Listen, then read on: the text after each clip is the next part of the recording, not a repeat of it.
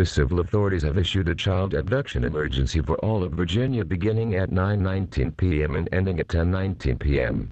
The Virginia State Police and the Virginia Missing Children Clearinghouse has issued an Amber Alert on behalf of the Giles County Sheriff's Office for a child abduction that occurred on May 2, 2021 at 1200 hours.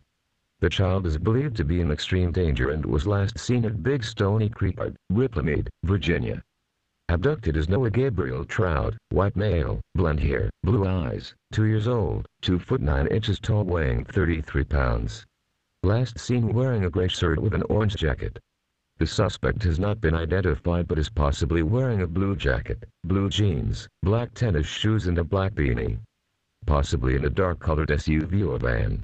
For further information contact the Giles County Sheriff's Office at 540-921-3842 or visit twitter.com slash VSPALERTS.